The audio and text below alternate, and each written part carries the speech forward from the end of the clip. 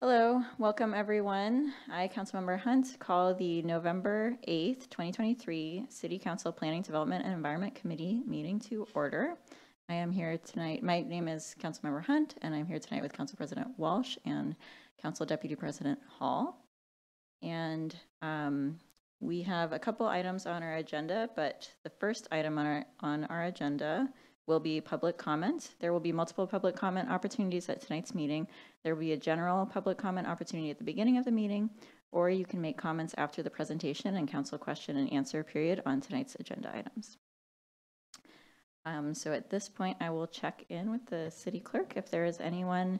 Um, I will note for the record that there are no there are no members of the public um, in council chambers, and I will check in if there are any members of the public online that might wish to make a comment. Uh, Chair Hunt, we have no virtual attendees at this time. Okay, um, then I will just uh, note for the record that we welcome comments, and you can submit comments at any time to citycouncil@issaquah.gov. And with that, we will move to um, our first item, which is actually the approval of the minutes. These are the minutes of the October 3rd meeting. I will note that there was a error that has been corrected um, on the attendance. It was Councilmember Hall in attendance, so that has been corrected. Um, There, there was also one thing that I, um, there is one thing as well that I uh, noticed, which is that we discussed, um, there was a question at that meeting about parts of the um, comp plan elements that uh, were, the, the topic that was discussed was if it should go back to the PPC, but most of the things that we discussed, we ultimately did not recommend uh, needed to be looked at further by the PPC Planning Policy Commission. Um, And so I've, I've just recommended in that case that we separate those out just to make it clear, because there were only, there were only two pieces um, that were actually recommended to go back to Planning Policy Commission. So um, with those changes, which I understand uh, can be made, um, we can approve the minutes. Is there any other uh, comments or corrections or anything? Okay, then I move to approve the minutes of the October 3rd meeting with the corrections that were mentioned. All those in favor, please say aye. aye. That passes. Thank you. And with that, we will go to our first regular agenda item, which is ID 1494, Diversity of Housing Types, Policy and Regulation, and this will be presented by Kristen Leeson, our long-range planner. Kristen, take it away.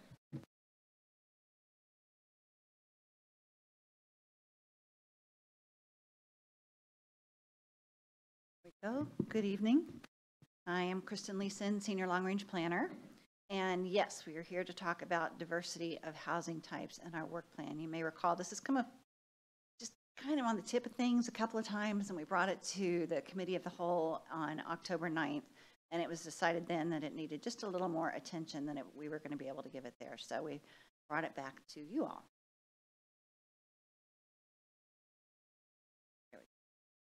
So tonight, we want to have you review our housing diversity condominium development inclusionary zoning recommendations from Eco Northwest. That was done to, they were looking to help us implement strategies six, seven, and eight from the Housing Strategy Work Plan.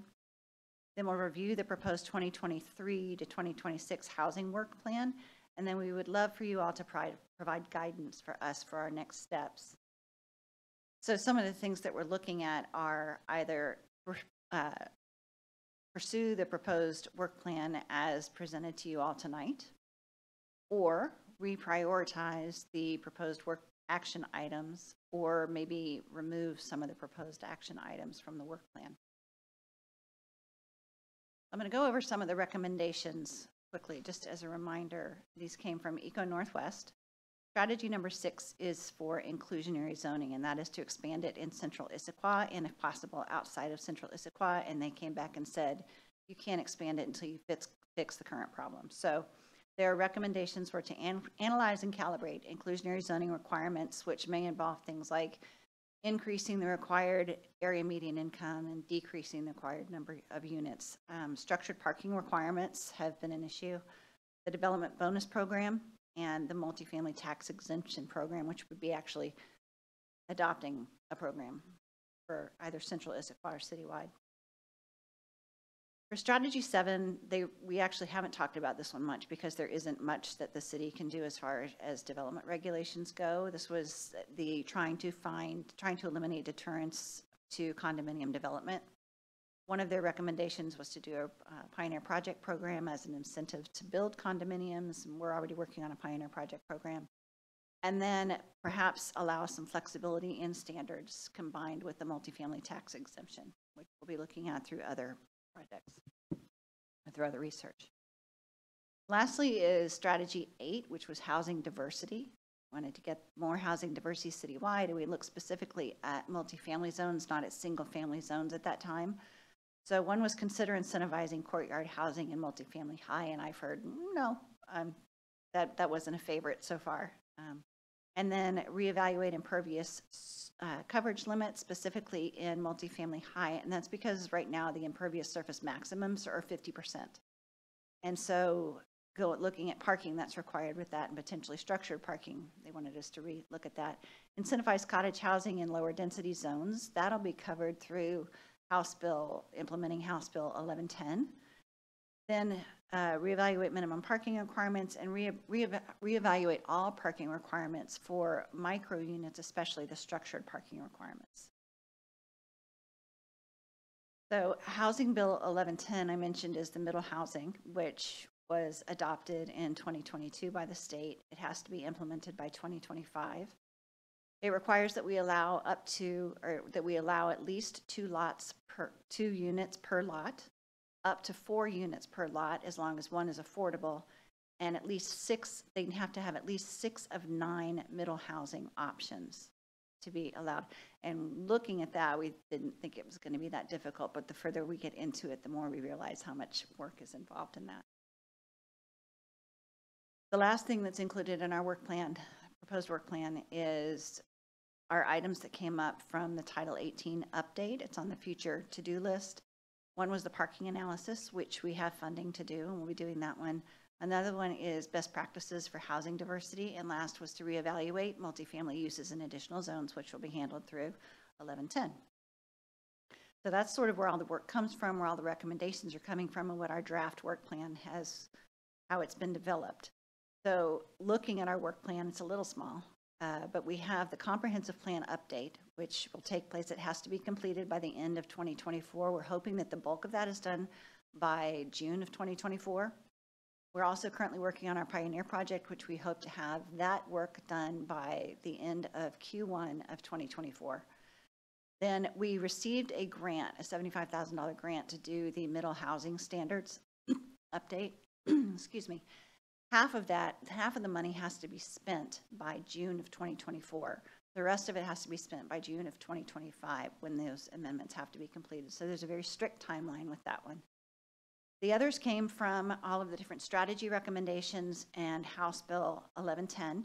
Those include the multifamily tax exemption, looking at adopting that program, inclusionary zoning, development regulations, impervious surface height, density, development bonus program, and the parking strategy. Following that, we'd like to do, once we get that into place, what happened, part of it this time is that we did our housing strategy work plan and then realized we couldn't do a lot of what was on there because the regulations weren't in place or it wasn't going to work. So we'd like to get these things in place and then update our housing strategy work plan. Now, this was originally supposed to be updated in 2022, but then we were doing our comp plan update and we were, you know, the state was coming out with new regulations. And we said, why would we do the housing? Why would we do that now when we don't know what our policies are going to be yet? So that's the reason for waiting on that one until 2025. And then lastly would be a central Issaquah plan update that will be, you know, 13 years in the making, 14 years in the making by the time we get to that. Also running with that will be the concurrency update, uh, the light rail planning efforts that are, actually they've started, and then neighborhood plan development, potentially for 2026. So as far as what we would do from here, after we have our discussion, we would come back to this committee in early 20, early 2024 with a scope of work for each of the action items that are on our work plan. So that's, that's all I have. It's just back to if you like the work plan the way it is, if you would like us to try and reprioritize, or if you want to remove some of the items that are on there.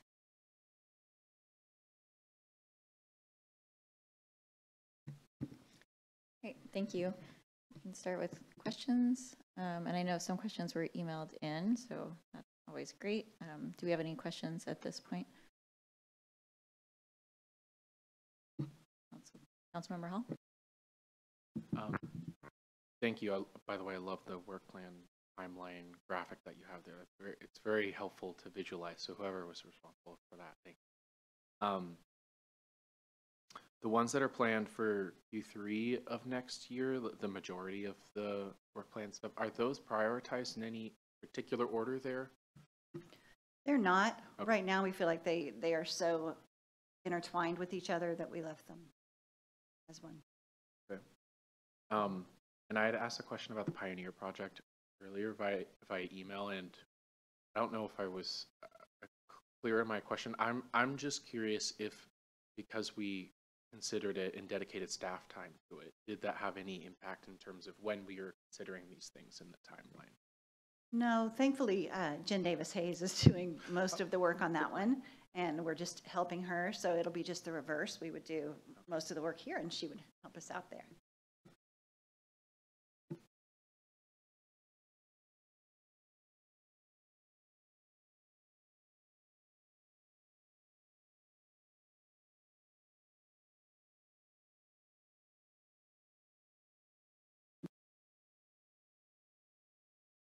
Have a general question about, um, so we, we are being asked to uh, evaluate this timeline and make changes, but what's the, you know, given that there is some sequencing here that's uh, necessary, what, what's the scope of what's possible in terms of actually changing this timeline?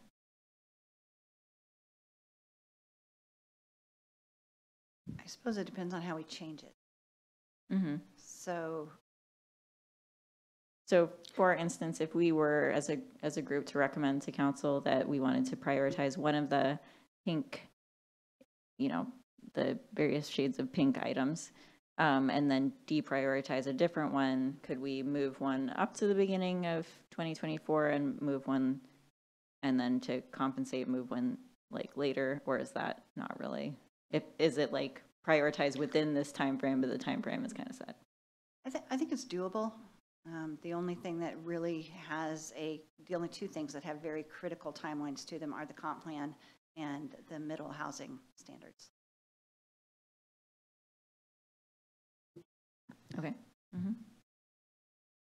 Hi, this is Deputy City Administrator Snyder. I just want to add to that, um, as we've talked about this internally, uh, as we, t- and then we talk about some of those kind of pink items, MFTE, inclusionary zoning, uh, the impervious surface and height density, et cetera. Um, we have realized that a lot of those are kind of interdependent levers to pull that all affect the financial um, viability of a project. And so that's why we're suggesting them to be considered together, because if we consider them separately, um, uh, policy on one will necessarily affect the other. Uh, so that's why we wanted to kind of take it in as a whole. Now, that said, if council wants to reprioritize this and move uh, one of those things up, we can certainly do that. But I just wanted to provide a little extra information about why we're considering grouping those together.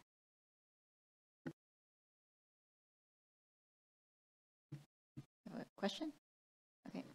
Member Walsh?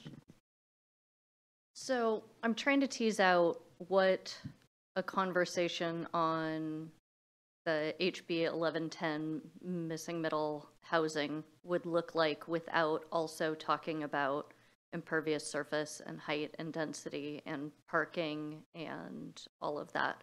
So in this current plan with two quarters of that work plan happening ahead of the pink stuff, what is that sense? Because if half of the money has to be spent by that June 2024, I would assume some sort of substantial conversation is planned for the first half of 2024.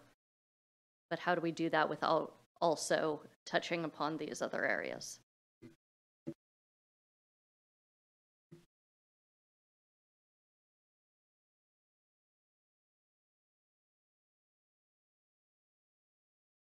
Thinking.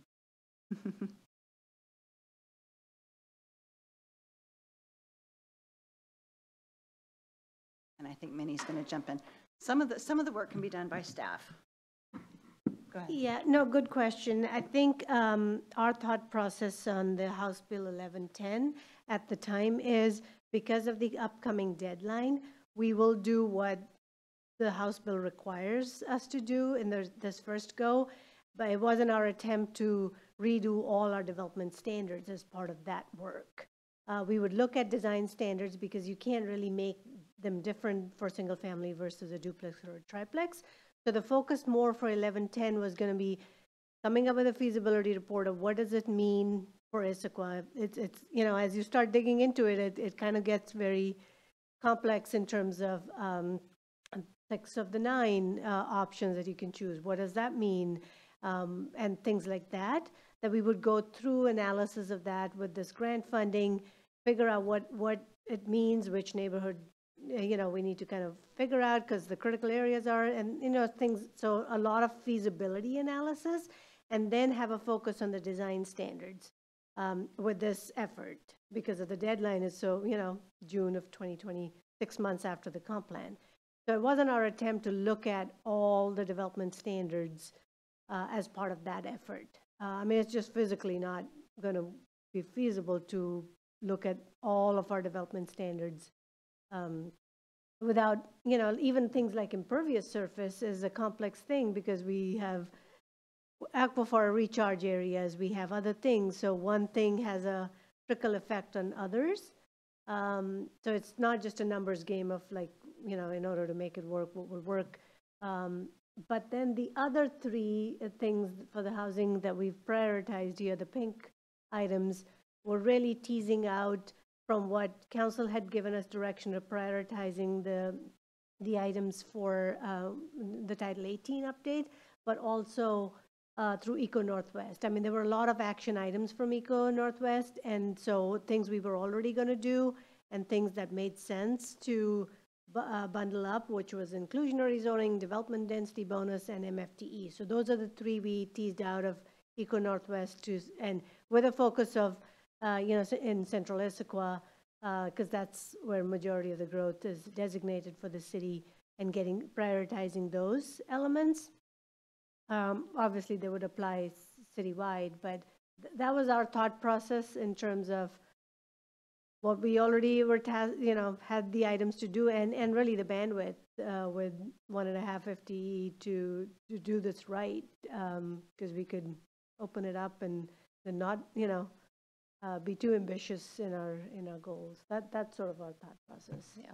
I, I appreciate the concept of, you know, we need to do a feasibility study to better understand and looking at the six of nine, and I think those are all very important.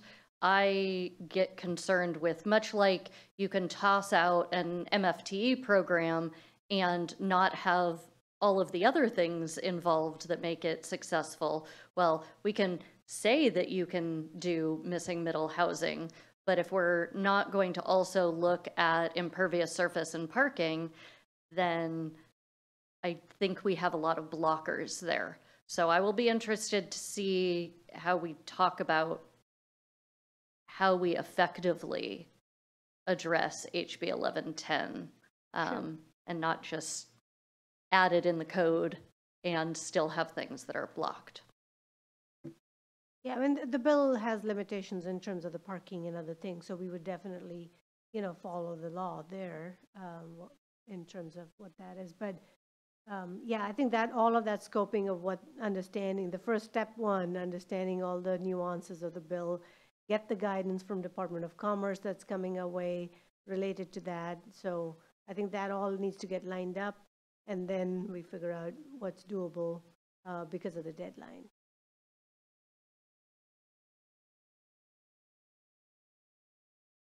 Do we have any other questions? Um, I'll check, uh, I'll note there are no members of the public in the audience. Is there anyone online that at this time might want to make public comment before we move into our discussion? Chair Hunt, we do have an online attendee, but they have not indicated a desire to speak. Okay. Um, well, maybe I will just give them a minute in case they do, um, and then we will move on to our discussion. All right, then uh, we will move into our discussion. Um, so um, I think it would be great to put the questions that you have for us back up if you can do that. I think the first one was okay.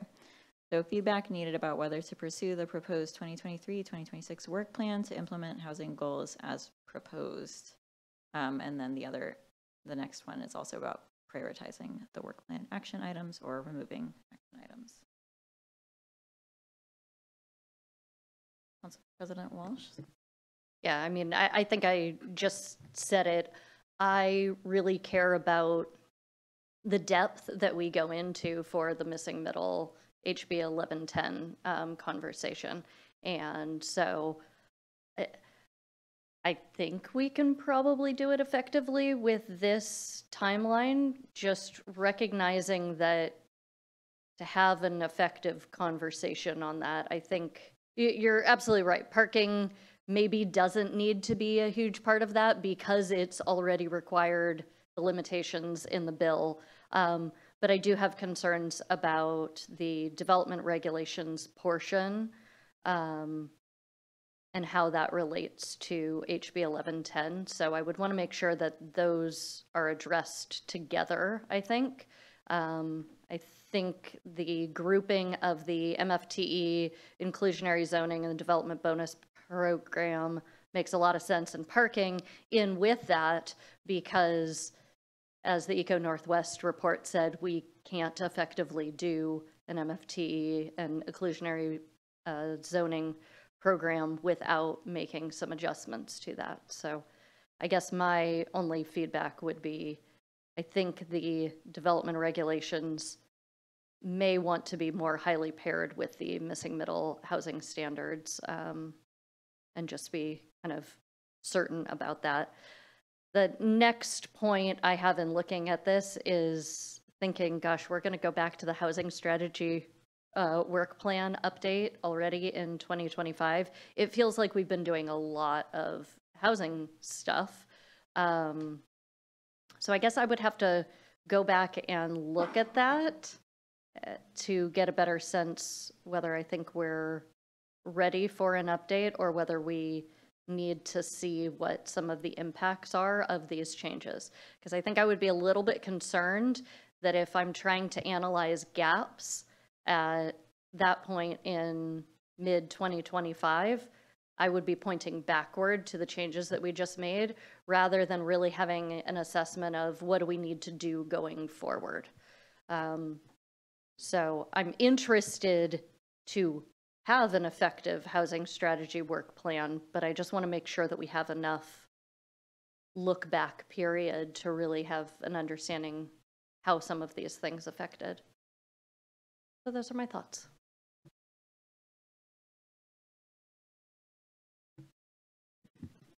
Um. Would you like to go next, or I can go? Okay. Um, so the the first thing I had comments on is a little bit outside of the scope of this, but um, we did in our last meeting have uh, a brief discussion about the cottage and a an apartment, uh, cottage and courtyard apartments. Um, I went back and looked at the, um, I went back and looked at the Eco Northwest report, and it says, to paraphrase, there's no inherent drawback in allowing those.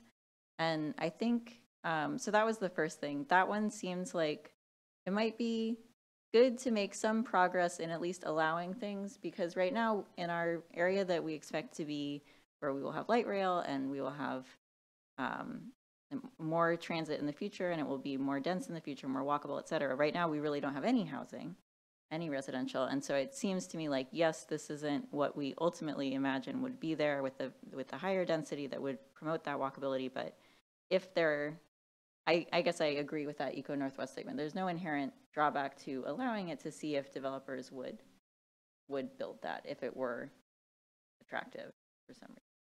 Um, so sort of like micro units, we have not yet seen them, but we added them, and there may be developers who are interested in building that because that's what they build or for whatever reasons they might have. So um, that was one thing I just wanted to revisit um, before we, before I moved on. Um, I don't know if you, if we have any comments about that, because that has been sort of, sounds like kind of taken off the work plan. Um, and so I just wanted to revisit if, if we actually think that that's not something we could just add to the uses table essentially to follow one piece of this Eco Northwest uh, and get, get moving and allowing it. I- mean, I think there were two recommendations in strategy eight. One was allow cottages and courtyards in multifamily medium and multifamily high. And the other was consider incentivizing courtyard housing in multifamily high.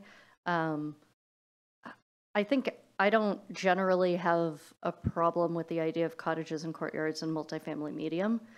Uh, My concern is really in the multifamily high aspect because of the loss of that space being used for things like single room occupancy or something that would be a little bit more de- dense. And I certainly wouldn't want to incentivize it. Um, so generally, I don't think it's a direction that I would want to push forward on. Um, but I would be open to the idea as long as it didn't include incentivizing. Okay. Yeah, again, I, I raise it because there are many com- very complicated pieces of the Eco Northwest uh, recommendations that involve considering trade-offs between adding or, you know, changing the inclusionary zoning and changing the parking and changing FT, F, MFTE and then, you know, all these trade-offs. And then that one, it seems like it was, it was something we could act on, which I would consider.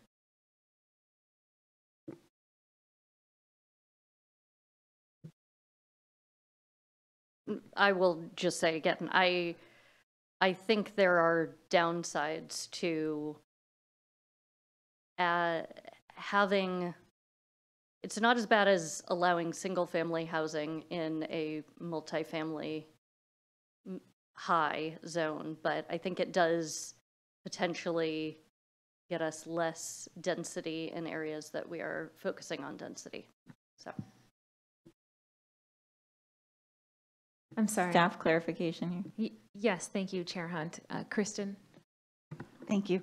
So as a reminder, we actually, at the beginning of this year, middle of this year, amended the land use code to allow cottage housing and courtyard housing in the multifamily high and multifamily medium zones.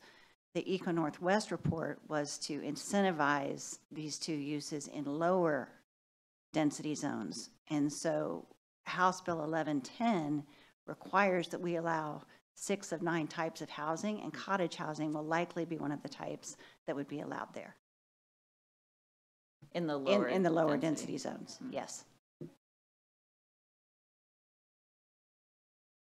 So then it, it would be about incentivizing what we're thinking we, Well, but there's a difference between incentivizing uh, courtyard and cottage housing in multifamily high, which I think would be a negative aspect because it doesn't get us the density, um, versus incentivizing it in a, what would currently be a single-family zone. Um, And maybe it's not even incentivizing, but just saying that's one of the six of nine middle housing elements that are allowed in um, as a way to satisfy the HB 1110. Okay, so then, my, my thought is that we should uh, consider allowing, allowing it to- as a type, um, just to see if it gets built, basically similar to the micro units. Um, But I, do we, is it currently allowed in the lower density areas? Not. No, it is not. Okay, And so that would be part of the conversation on HB 1110, because we would have to decide which of the nine we're mm-hmm. interested in allowing. Okay. Yeah. Okay, and that starts Q1. Okay. All right, then I guess we table that until we get to that point. Okay. Um, all right. Then, okay, I'll get back to the questions. So the first question is pursue the proposed work plan. Um, it seems to me that the two things um, in the Eco Northwest that really jump out are one is of all the cities that were on there, everyone else just had a yes multifamily tax exemption uh, in their comparison, and ours had a very limited, um, and and everybody else had yes. So that one seems like it's something we kind of know we need to look at from the report. I would I would say um, and that it does set us apart. Inclusionary zoning, for example, we have an inclusionary zoning program. It's not delivering the results that we hoped, but we do have it, and so do our neighboring cities. Um, and then the other, the other thing that stands out to me is our parking.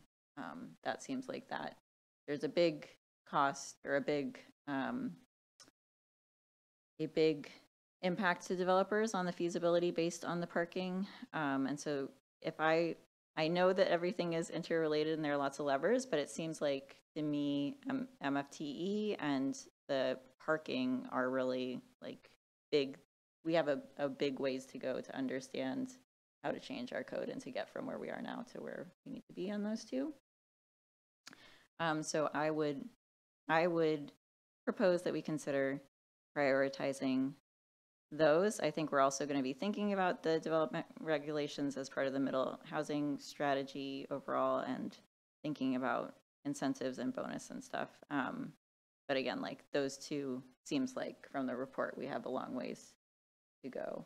Um, the other interesting thing from the report to me was that we have, uh, we have developed affordable housing in Issaquah uh, at somewhat comparable levels to our neighboring cities, but the most, but most of it has been through development agreements, which is completely different than the neighboring cities. So our regula, our regulations just in the code have not allowed us to get that affordable housing. It's been through development agreements. Um, and so again, like, seems like those things where we're very different than our neighboring cities, which would be MFT, and I, I believe the parking is a big one too, um, that we could prioritize, consider prioritizing those. So I'll put that forward. Um, but other than that, I think, you know, these are definitely the things we need to look at, the right content, and that would be consideration for our prioritization.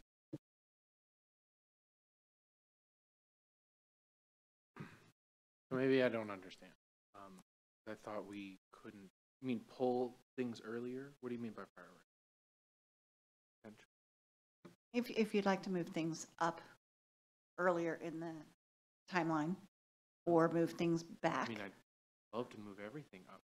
Uh, But, but I mean, given staff capacity, I mean, given the capacity that we have to actually move forward, the way that you had presented it earlier in the presentation saying, let's get what we have to do out of the way first, and then we can have these broader discussions about really what does 1110 mean here in Issaquah, and how do we implement the vision also of land and all, and the Eco Northwest report. That makes sense to me. Um, I agree that MFTE and parking in particular are big ones, and I think we've said that here in this committee too. And MFTE also very important because I think it, we really need to dig more into the impact we have on our revenues also. Um, so that's a much larger discussion than just um, affecting some sort of outcome out in the built environment. So, um, and then with parking, I couldn't remember if this was in the report too.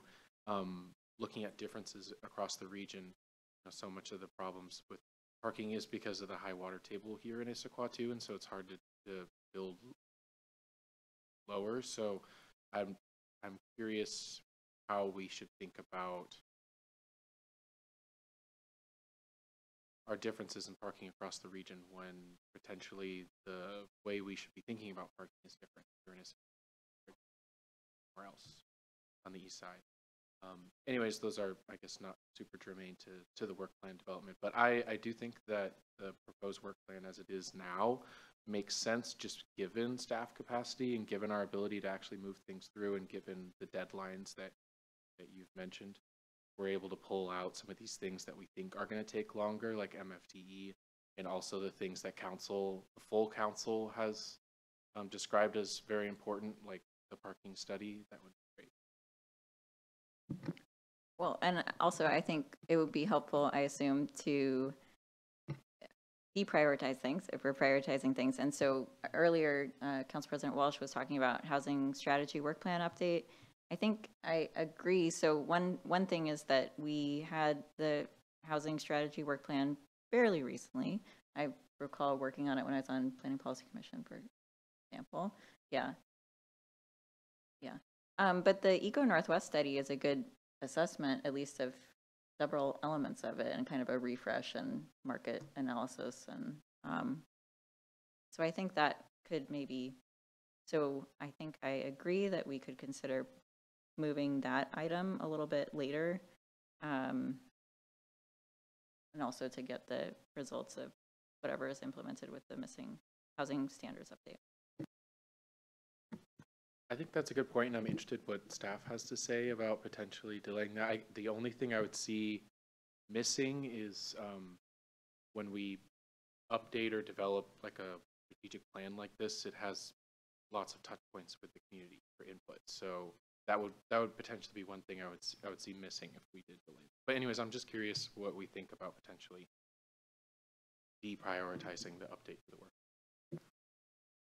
I think the point about having an opportunity to see how these regulations work is, is a good point and worth taking and perhaps moving it out a little bit just to see what kind of effect it has. And also, if House Bill 1110 has had an effect, and then we also have 1220, which is the emergency housing, you know, because the housing strategy includes emergency housing as well. So, and regular market rate housing. So I, I don't think it's, as long as others agree with me. Uh, I don't think it's a bad idea to move that out.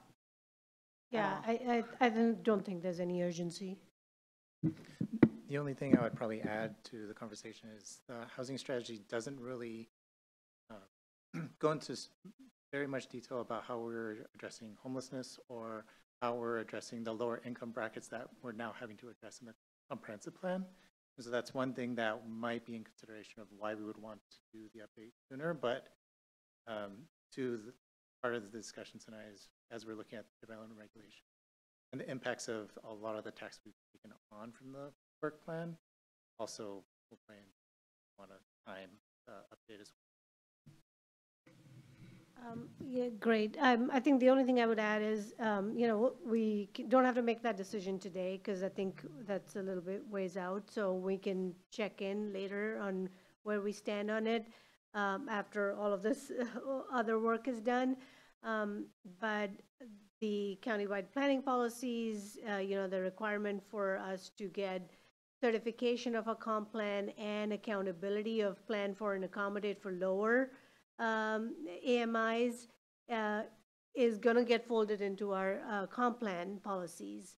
Um, And then we, when we start looking at inclusionary zoning and MFTE, those are the tools that the local jurisdictions have to advance that, those policies. And so I think some of that work will occur as part of those, uh, when we look at inclusionary zoning and MFTE related to those goals and policies that will get embedded in the comp plan. So in terms of actually updating the housing strategies plan, you know, it's not like we haven't done anything on housing. There's a lot of work that has happened between Eco Northwest, which brought in the filter of market feasibility, which wasn't part of the housing strategies. It was more about the goals and, you know, desires for the council. And so uh, that's one thing, but how do we make it happen is sort of what Eco's uh, task was to help us figure that out. Um, So I think we, we, don't- we can push that out. I'm sure there'll be other bills coming our way to, to work on, TOD bill and whatever is in the works. Um, So, sure, we, there's no desire on our part. Yeah. President Walsh?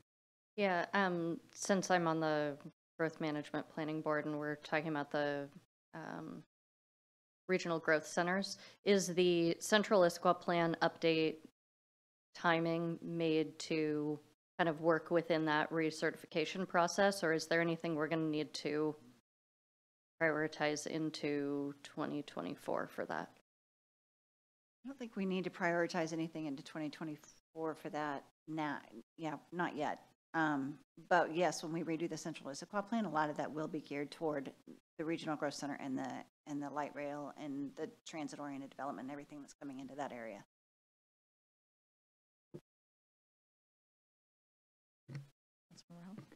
Um, and I guess also just when we come back in 2024, we kind of define the scope of work for each of these items too. I'd like to get a sense of where are those touch points with, for community input and in this process.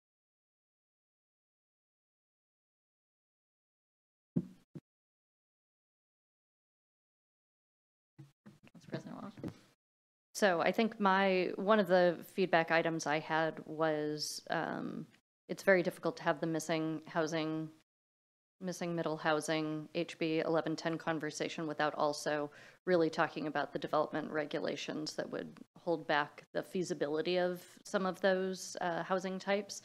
So I'm not sure how people feel about more of a direct pairing of those so that that starts at the beginning of 2024, or whether that feedback is even really necessary, since it does say HB 1110 down there.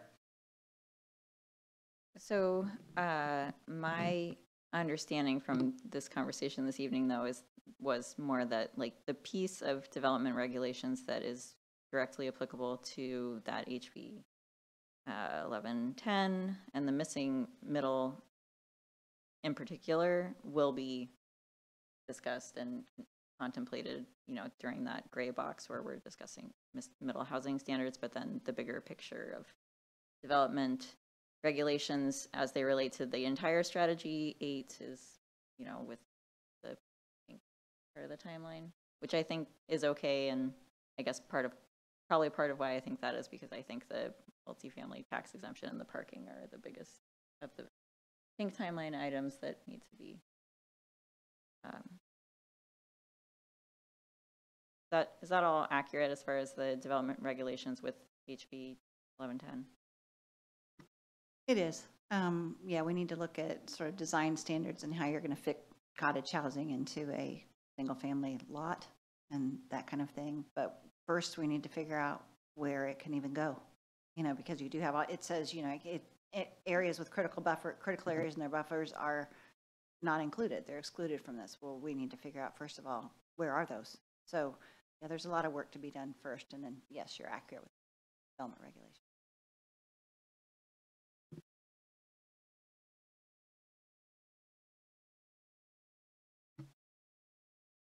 Um, okay.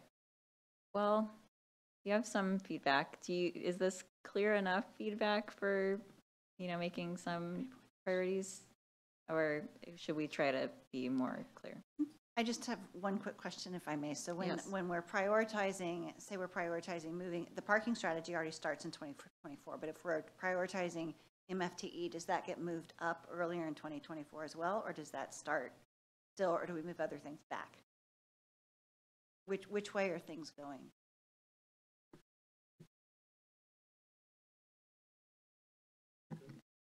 It's a good question. Um, can you talk to me a little bit more uh, about like definitely to achieve an effective MFT program, according to the Eco Northwest, we need to look at parking. But I think they also said we need to look at development regulations as well. So I'm trying to get at which of those pink items absolutely has to be paired together in order to have an effective conversation, or is it really all five of them? So I think multifamily tax exemption doesn't really get tied to the parking. That's more of a standalone. That's, and you guys see it that way? It's, it's not tied to parking. Yeah. Multifamily tax exemption. Yeah, That's they just- both have an impact on the Right, finances, they both but have an they're not impact, but tied. parking doesn't impact MFTE, MFTE doesn't impact parking, so that's sort of a standalone. But parking and impervious and density bonus, those all have impacts on each other. Because if you reduce, say, structured parking requirements, then not as many people have to use density bonus, and th- then it affects, affects inclusionary and so on.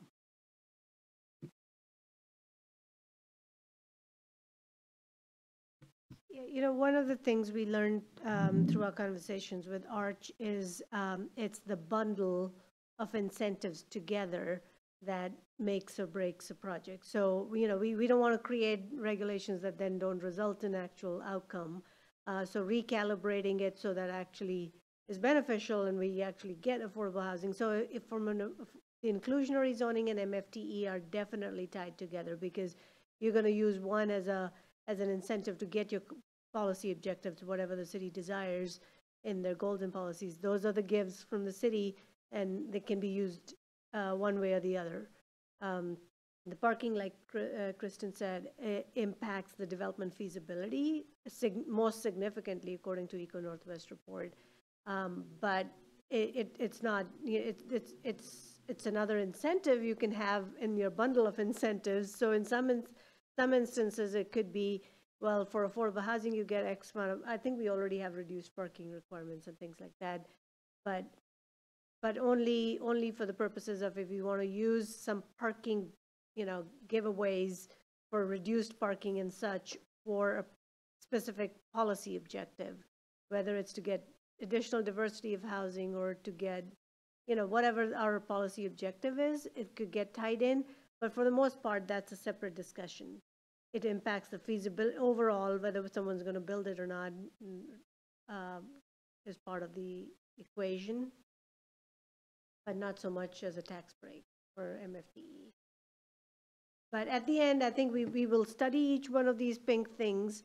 We can pick which one we want to study and have conversations on, but, but I wouldn't recommend that we make any changes until all of those are fully vetted and understood, and then we change our regulation one time together. Unless through that process, we learn that this is an easy thing we can do right away, because they could impact.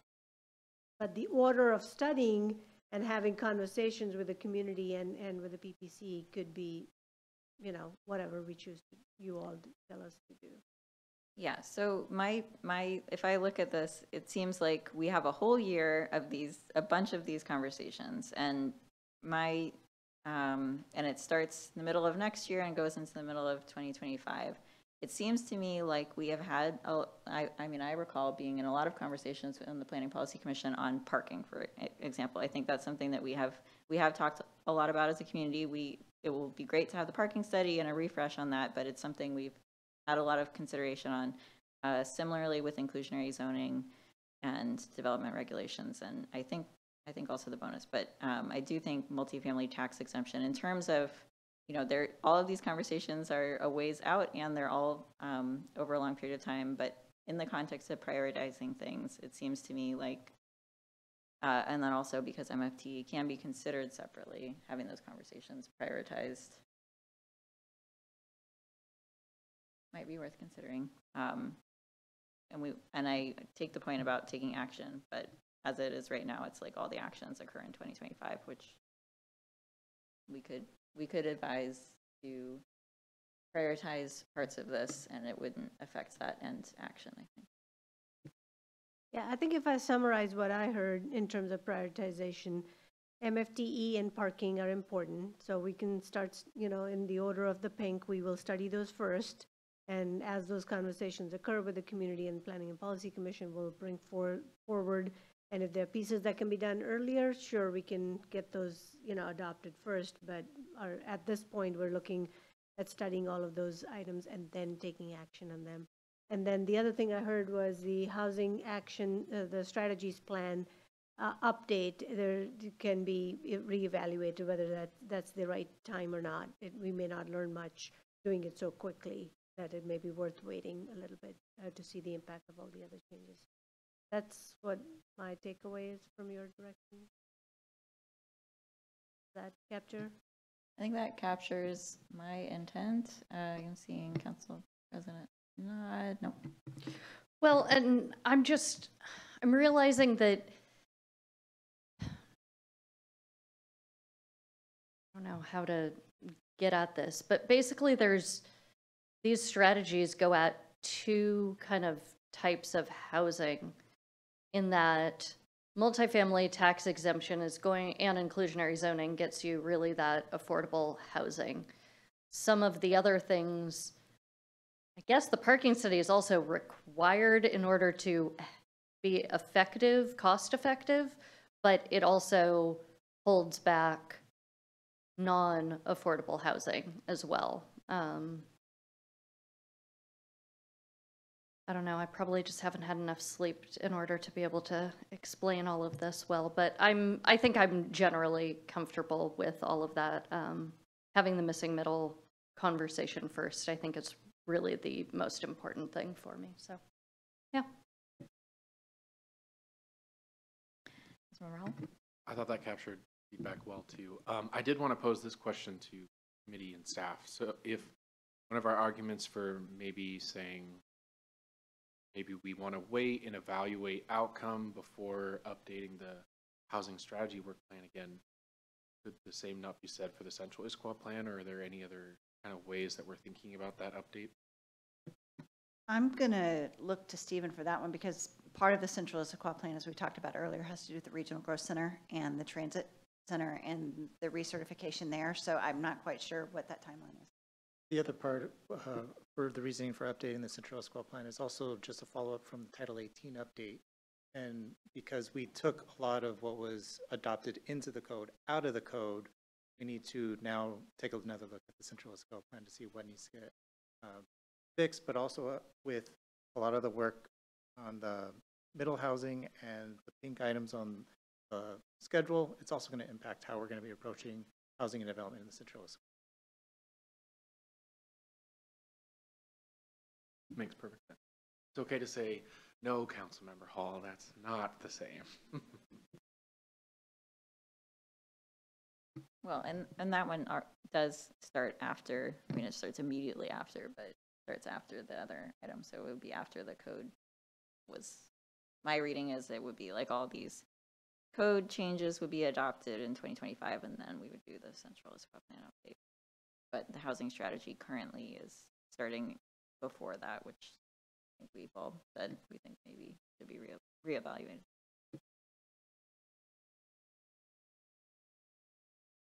Okay, do you have what you need from us? I do. Okay, Thank you. great. Um, Great, okay, thank you.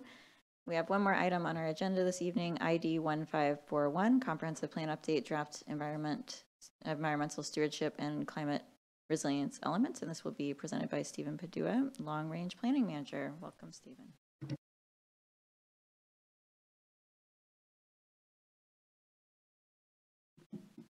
Thank you, Chair Hunt. Good evening, everybody. Give me one second as I get my screen share.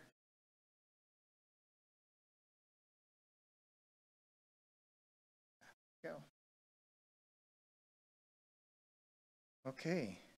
Right, so Tonight, we're going to discuss the new element in the comprehensive plan, that being the environment stewardship and climate resilience element. This is a brand-new element that's required from House Bill um, 1181 that was adopted earlier this year. I'll talk a little bit on um, what was required from that bill. The direction we need tonight are, are there additional considerations the Environmental Board should be studying prior to finalizing their recommendations to the City Council? Are there specific areas around climate and or sustainability where Issaquah should take leadership role in terms of goal or policy statements? For land use policy G5, should the city establish stronger language to phase out natural gas as a priority or eh, more as a supporting role of the utility companies in the state? And then lastly, are there any additional topics for staff to consider when making final edits to the draft? A little background information on this element. The vast majority of the goals and policies um, that were proposed for this element are carryover from the land use element. Um, some of the reason for that is we wanted to tailor this new element around climate change as well as the natural environment.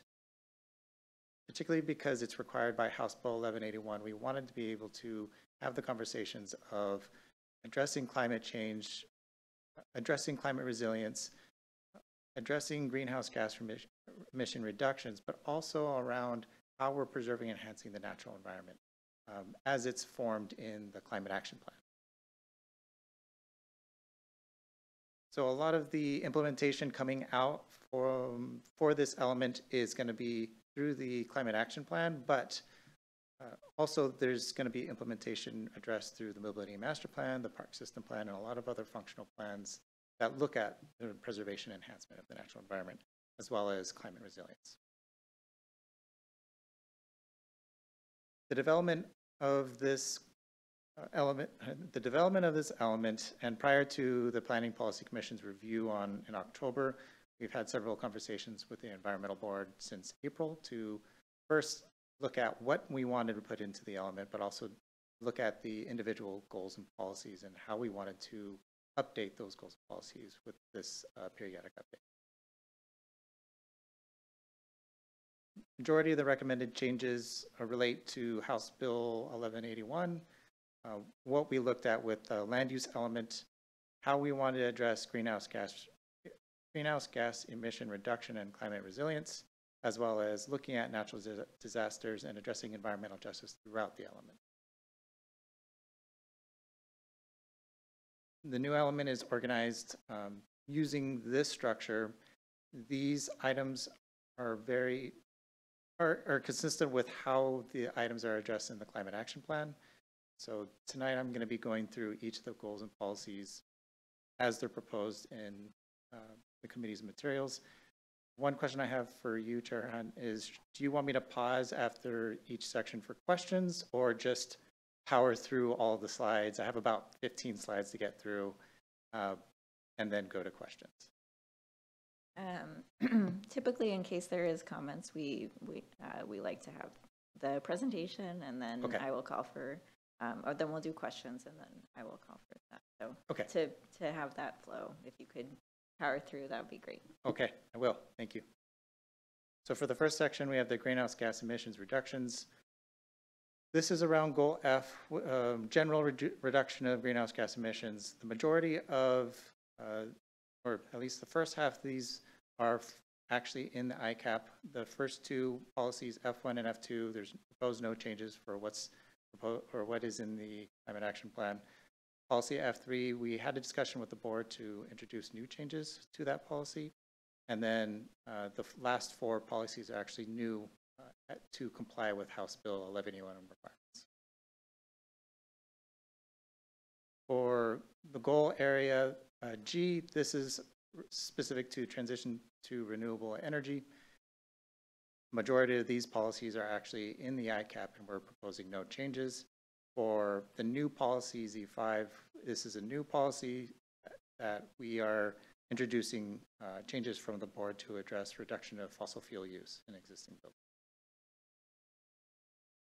And then I, there is a specific question for policy G5.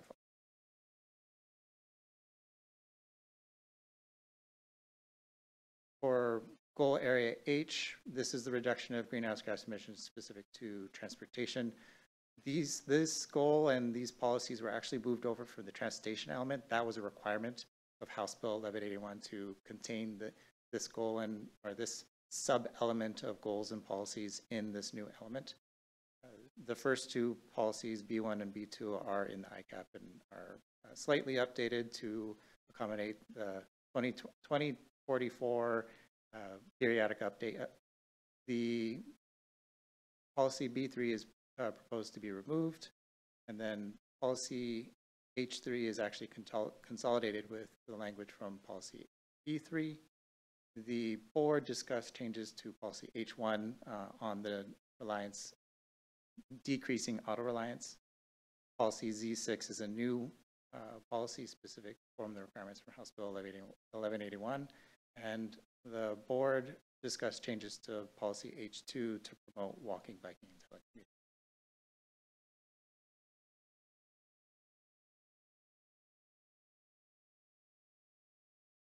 For goal area I, this is specific to reduction of waste and materials as it relates to uh, greenhouse gas emissions reduction. There's no changes proposed for policies I, 1, 2, and 3. And then policies Z7 and 8 are new policies to comply with House Bill 1180.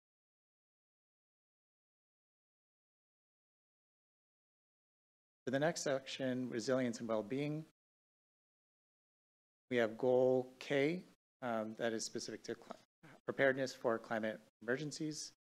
The board discussed changes to the goal as well as policy K1. Um, This, these are both in the climate action plan. We also have policy K2, which is also in the climate action plan, but we updated it to comply with House Bill 1181. Uh, Policy Z9 is new in compliance with House Bill 1181 and addressing community resilience. Uh, We're proposing no changes to policy K3. uh, That is in the climate action plan. And policy Z10 is a new House bill for complying with House Bill 81, prioritizing frontline communities. The next section, natural systems and water resources. We have goal, goal area for, or goal J, uh, which is the protection of habitats and resources. Board proposed changes to the goal, uh, mostly to make it less specific and kind of bring it to a higher level of the goals we're establishing for the comprehensive plan. Policy D4, uh, staff updated uh, the language around rechargeability for groundwater. We're consolidating policies D4 and D5, so we're proposing to remove policy D5. Policy J2 has proposed changes uh, from our discussions with environmental board. Um, Both policies J2 and J3 are actually in the climate action plan. We're not proposing a change to policy J3. Policies Z11 and Z12 are new and staff propose specific to addressing contaminants and how hard surfaces are treated.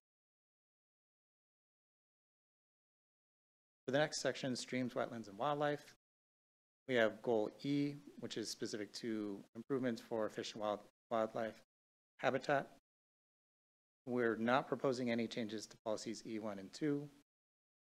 We are proposing a minor change to the language on acquiring creek site parcels in policy E3. We are proposing um, a change for policy E4, which was a discussion with environmental board. Then no changes to policies E5 and uh, policy Z3, C13 is a new policy to comply with House Bill 1180.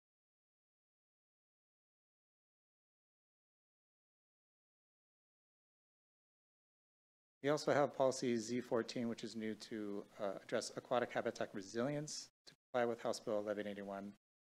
We split policies A14 into two policies, one to uh, specifically address natural drainage practices and to call out the green necklace as its own policy uh, within this section. And lastly, we're, um, we have the last policy, Z15, is to improve fish habitat. This is carryover from the land use element.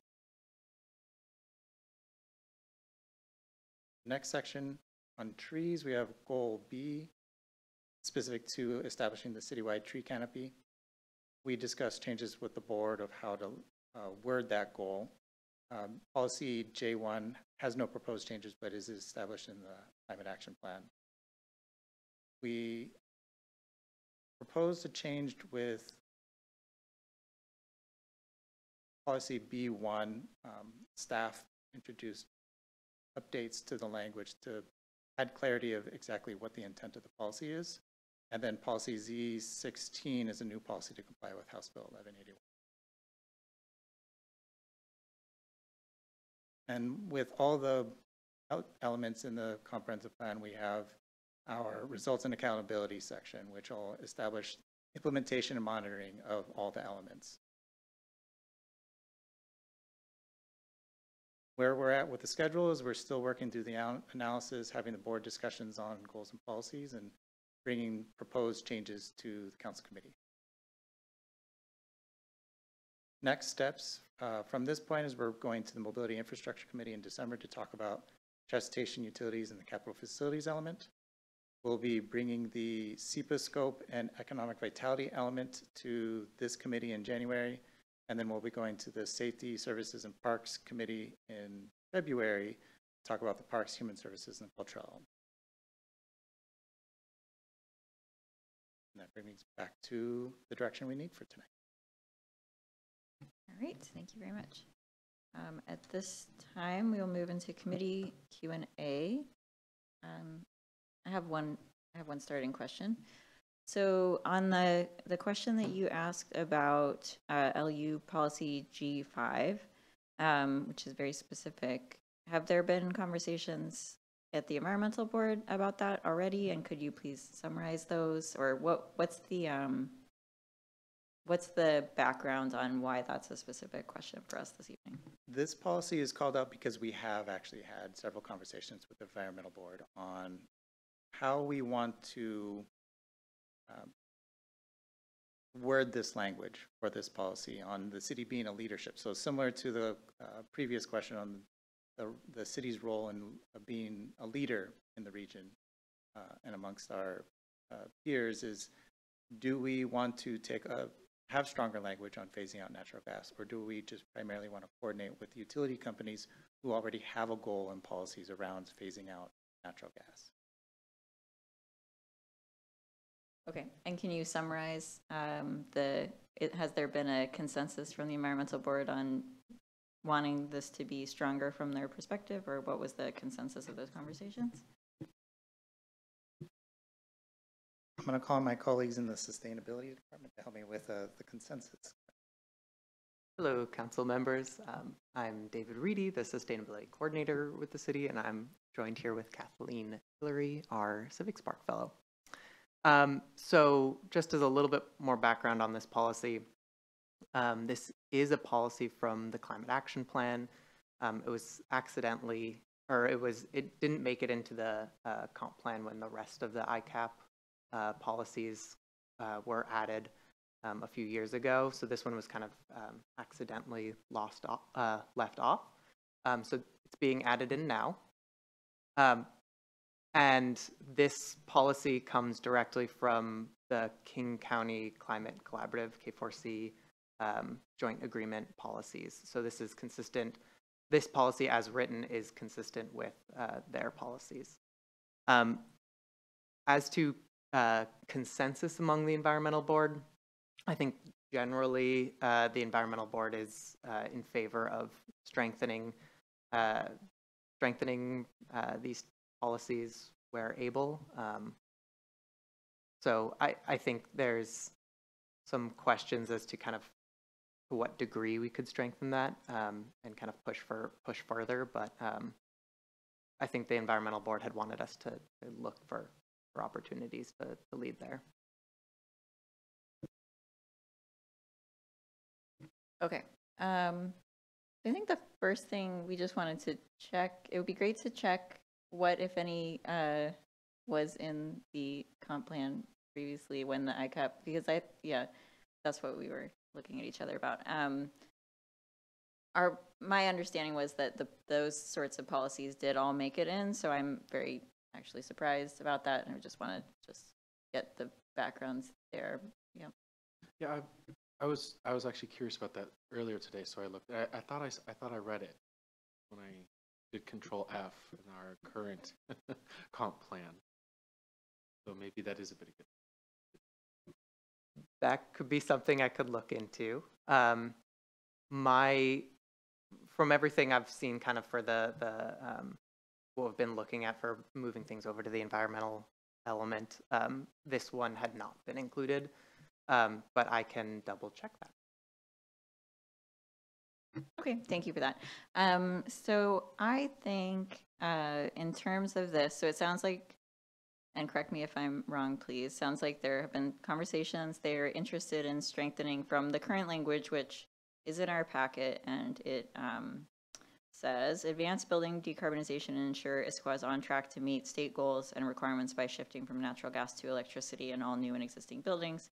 So it seems to me that, you know, it's, it's basically saying that we should meet state goals and sounds like the uh, environmental board is interested in changing from that. Is that correct? But not a specific change. Um, the other thing is, I think that there is more specific,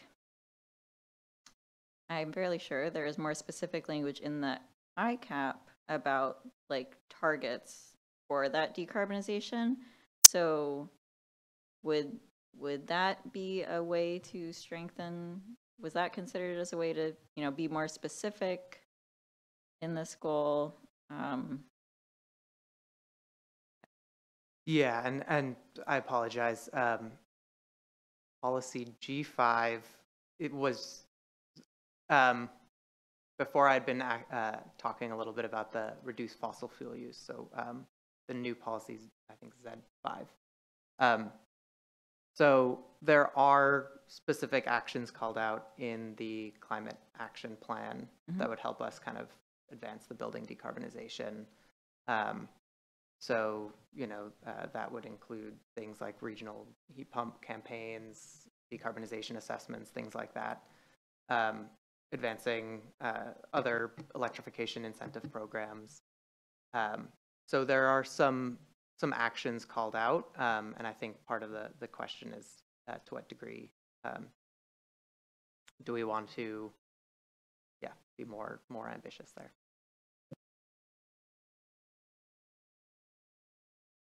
Okay, so um, there, so my understanding is the current wording is probably at least less specific than what's in the ICAP for this particular element. And then there's conversations about making it stronger than the ICAP. Um, I, I, just to clarify, okay, so um, I think that those are the questions, those, those were my only questions. Do we have any other questions? Councilmember Hall. I have two questions. One that's um, specific and one that's very, very broad. Um, apologies for not emailing that broad one in earlier, and you're just going to have to respond how, whatever comes to mind. Um, but first, just with like the recent uh, power outages, got me thinking a lot about like grid reliable energy grid reliability too, and I'm wondering if, if that needs to live as a goal somewhere or a policy somewhere in here to work with utilities to ensure reliability. What are your what's your reaction? We do have policies in the utilities element that actually looks at grid reliability and working with our utility on uh, different infrastructure needs. So when uh, this comes to me on the mobility and infrastructure, you're saying we can talk about it there. Okay. Potentially. I'm getting ahead of myself. Okay. Um, and the other is, so one of the direction needed questions is, you know, what are the areas that we should take a leadership role in? And so my initial reaction was, well, what are the areas that we feel capable of leading in or um, what are we well equipped to take on here in the Issaquah given our capacity needs, given community interests, that kind of thing. It that's kind of a also has policy implications, so it's like half a policy question, but also half like a resourcing and interesting or an interest question from staff side. So I'm just kind of curious what your initial reaction to that would be, and, and we can kind of further develop onto. I'll provide a very broad response, and then I'll ask David to kind of chime in on the more specifics. But I believe a lot of the discussions on where the city can take a leadership role was discussed in the development of the climate action plan. And there's a lot more specifics in there of what our capabilities are locally as well as what we can do regionally and with partnerships, working with King County or even the state on expanding on different areas. Then, David, is there anything specific? Yeah, I think when we think about other kind of leadership opportunities for the city, um, you know, a lot of my specific work is with municipal operations, right? So we could, for instance, think about leadership in, um, you know, fleet electrification, for instance, um, where we want to be, you know, different fleets are approaching it in different ways fleets want to make sure that the technology works for them and for the needs of the different um, vehicles um, that we're trying to employ. Um, but within, you know, fleet electrification or say um, municipal building decarbonization, there's the opportunity to kind of put more uh, ambitious targets, more, uh, I guess, funding and, and support towards those uh, those efforts that could have us lead regionally, um, regionally or um, statewide or, or whatnot. Um, so I think there's definitely kind of on the municipal side some some opportunities there. Um, and then I think uh, continuing on kind of the community side of things, right? We have we are leading the state with um, a heat pump program with the other East Side cities. Um, but I think there's, again, kind of opportunities to uh, continue to lead around um, other incentive programs, electrification programs, things along those lines that um, are being trialed across the country, but uh, you know, there hasn't been kind of one uh, set model that everyone knows works perfectly yet, and so uh, different jurisdictions are are kind of figuring it out as they go.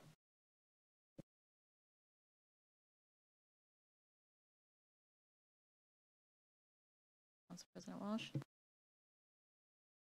Um, so when we're talking about this land use policy G5 and language about phasing out natural gas, can you, and I emailed the question in earlier about what the state's role is in that? Because I know we have a new building code that is in the works that was supposed to be implemented and is delayed. Can you talk through what the effects of that would be?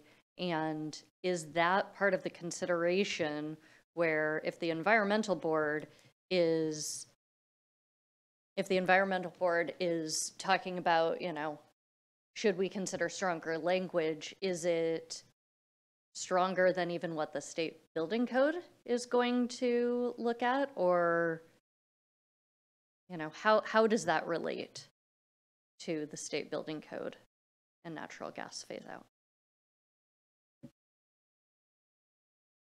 Yeah, great question. So um, I think when we think about kind of decarbonizing our buildings, um, at least in my mind, I'm, I'm kind of splitting them into the two buckets, the new buildings and the existing buildings, right? It both are taking different levers, right? Um, so for the new buildings, if the state energy code is adopted, um, then that will uh, lead to, to meaningful and um, significant decarbonization for new buildings, right? That'll require, for the most part, um, all uh, electrification of new buildings.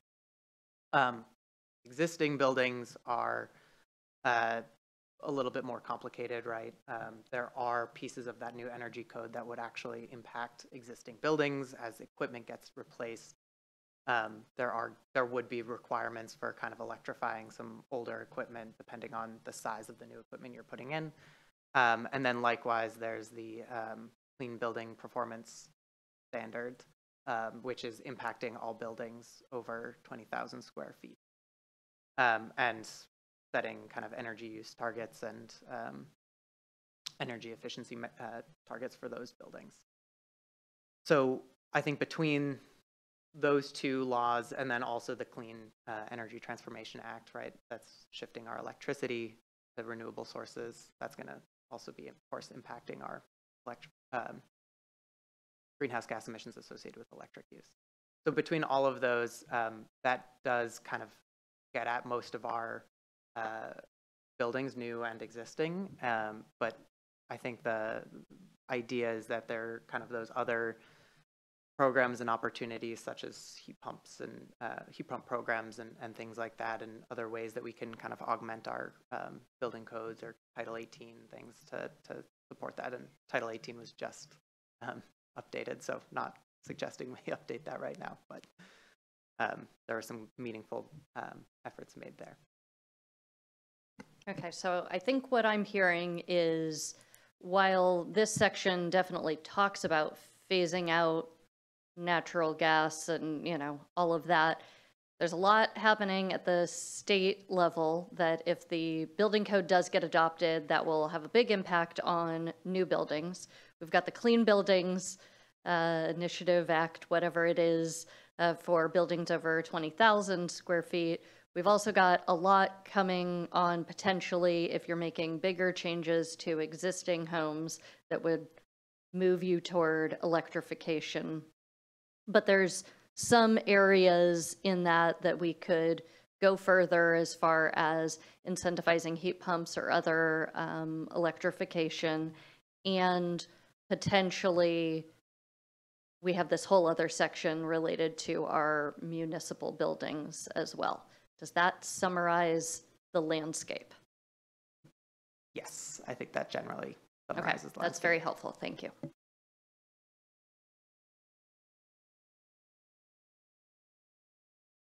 Councilmember Hall?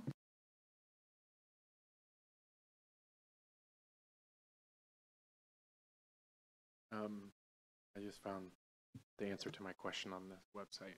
Never mind. Uh, You know, what, I was gonna ask, um, i you're asking a question about like where we should lead, and I just made me think of the LEED Gold certified that we had. So, uh, some of our opportunities for improvement, maybe we can align that with where we should be leading to, um, because we had a report card.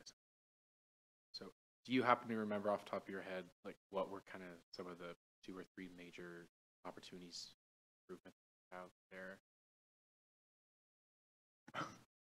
Thanks. Do you want to answer? Or? I can. So our top three priority actions that came out of that um, were the.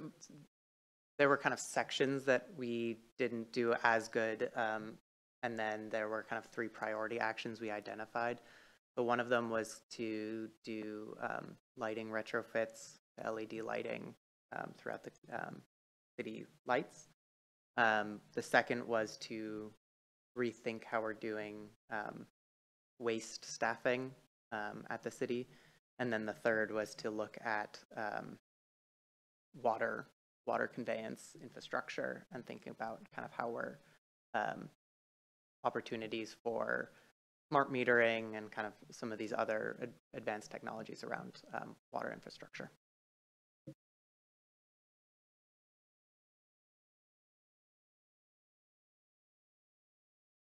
Great. Do we have any other questions? Okay. Um, Great, then at this time, I will call for public comment. We have no members of the public in the audience, and I will check in if there are any members of the public online that might want to give comment. Chair Hunt, we do have a member of the public in attendance online, but they have not indicated a desire to speak. Okay, all right. Um, Then we will move to our discussion on this item. Um, Council President Walsh. So my first reaction in looking at all of this is, oh my gosh, this is a lot. And then when I look back at how many environmental board meetings, and as somebody who came up through PPC, I know that you can really get into the wording on that and talk about what the intent is. And so uh, the first step there, I just want to say thank you so much to the environmental board for doing that um, work because ultimately, and staff that did it, uh, ultimately, um, what I see there is a lot of really good changes that I think really meet the needs of our community. So I'm feeling really good about the general proposed changes in there. Um, as far as where we should lead, I mean, I'd like to see us lead on municipal buildings and um, fleet. And I think those, the areas that are in our control are great. They're expensive, but they're great. Um, and similarly, I think the heat pump campaign has been really interesting and a really great way to tie in equity with major changes that are needed um, that help us get toward our goals. So the more of that we can do, the better. Um, from my perspective, as far as land use policy G5, um, I, I really like the new state building code. Um, and I think it provides a great opportunity for us to move together hand in hand with our neighboring cities. Um, so if that can be accomplished, I'm super happy.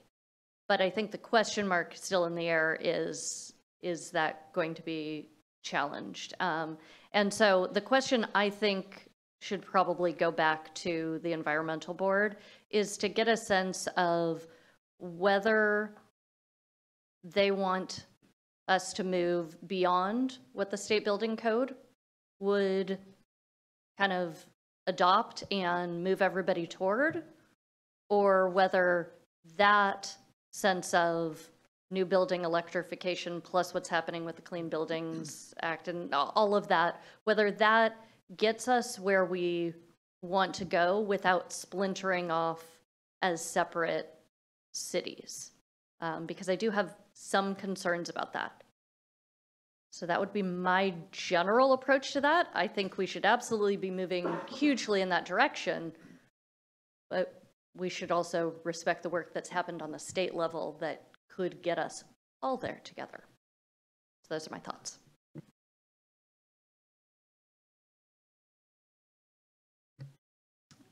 I, I had one question, sorry that I didn't ask this during the question time.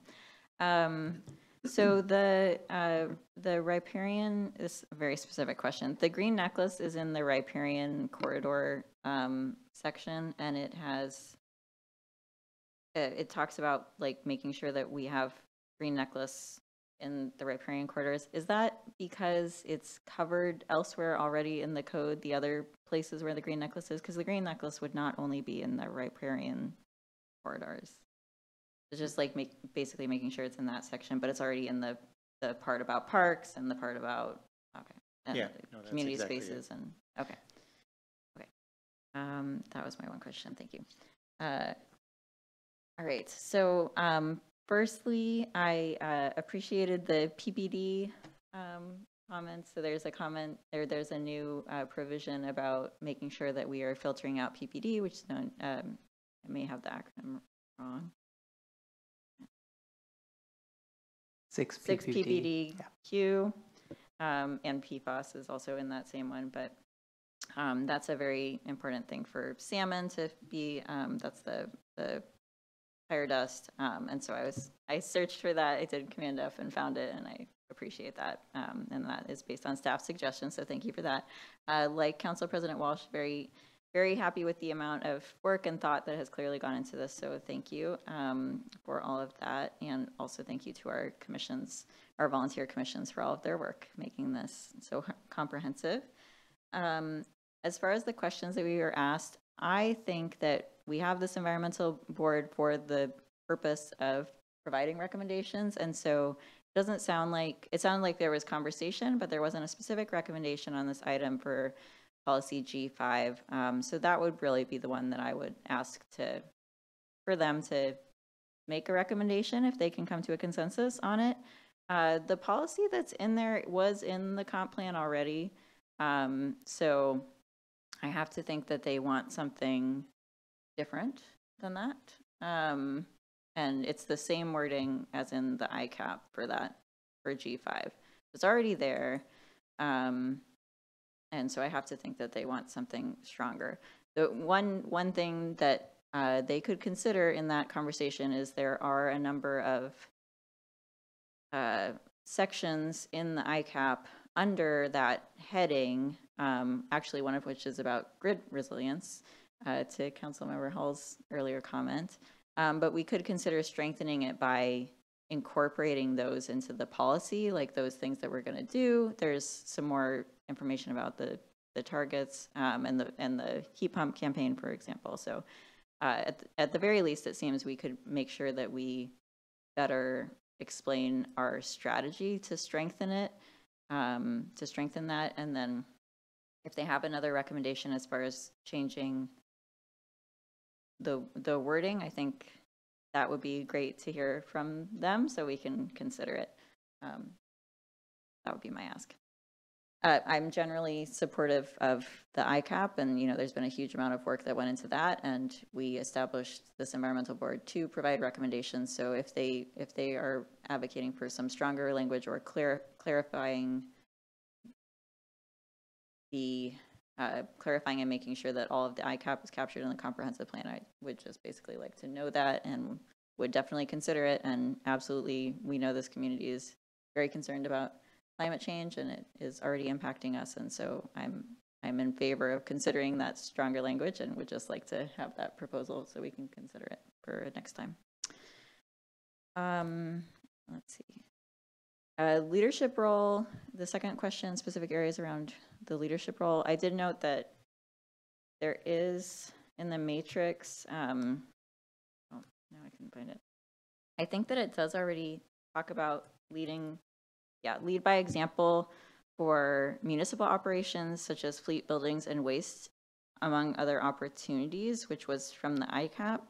Um, I think it's a great suggestion to just look at where we already know we are leaders from the LEED Gold certification as well, but um, I think leading by example in those areas that we are, that are in our control, the Council President Walsh's comment earlier is a good, good thing.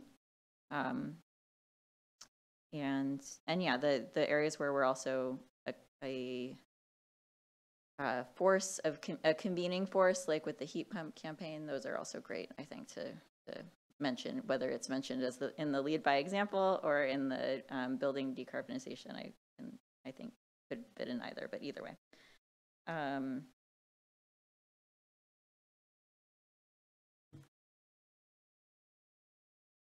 yeah, I had, um, so those are my big comments.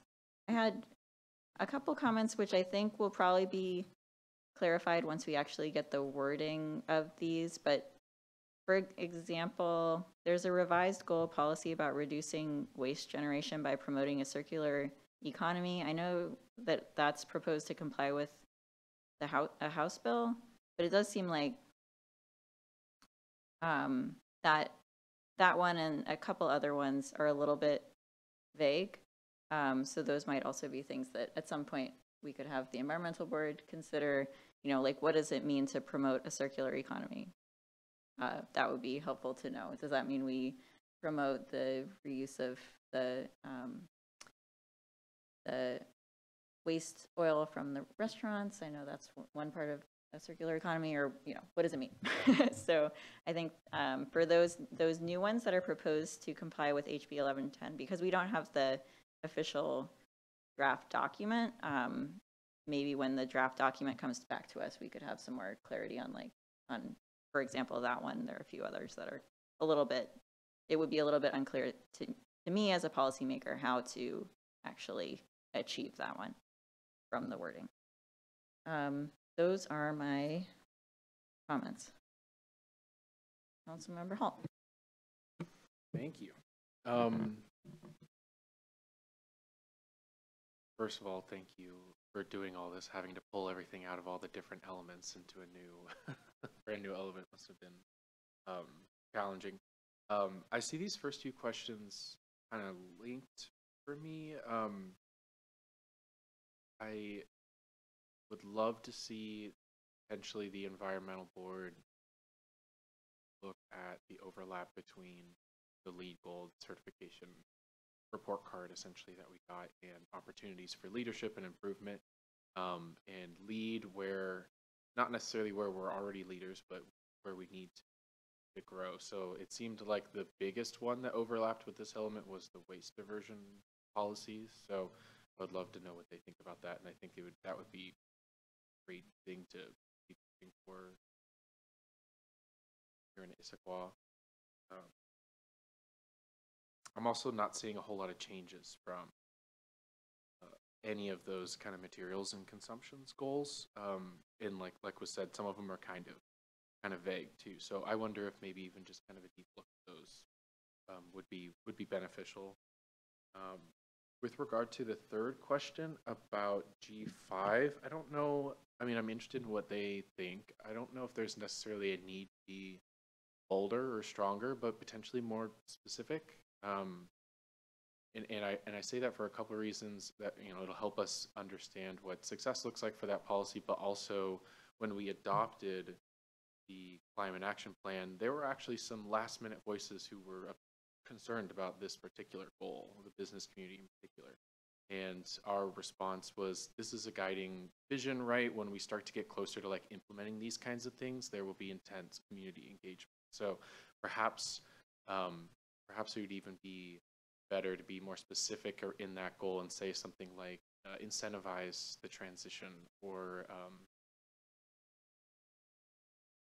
guiding or supporting the transition in the community or something like that. So if they if they have a conversation about that, that would be helpful. I don't know if I'll leave it up to you if you think it's necessary to take that to like the, the Economic Vitality Commission or if that's something we can kind of think through ourselves and engage with business leaders. But that just came to mind when I saw that one as well.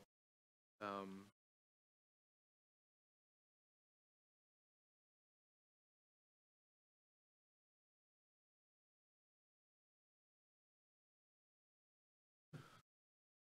those are the remaining comments. I didn't see anything that I disagreed actively. Great. Thank you. Okay, s- do we have any other comments? I think, we all were on the same page. Do you have what you need from us on these questions? Yes, we do, Chair Hunt. Great, okay. Um, with that, then, thank you again. Thank you all for all of your hard work on this. Um, and with that, we have, final item is announcements. We have any announcements? No announcements, okay. Then we are adjourned at 8:05 PM. Thank you all.